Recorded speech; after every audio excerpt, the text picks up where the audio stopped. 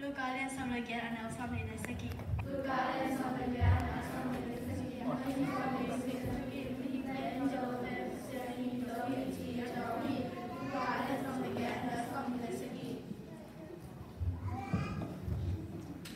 Mm-hmm.